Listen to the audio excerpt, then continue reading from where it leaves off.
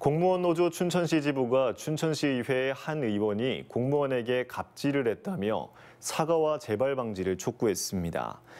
공무원 노조는 성명을 통해 시의회의 한 의원이 시청 공무원에게 소리를 지르며 자료 제출을 독촉했고 이 일 때문에 해당 공무원이 병원까지 갔는데도 직접 의원실로 불러 진료 여부를 확인했다며 명백한 의원 갑질이라고 밝혔습니다.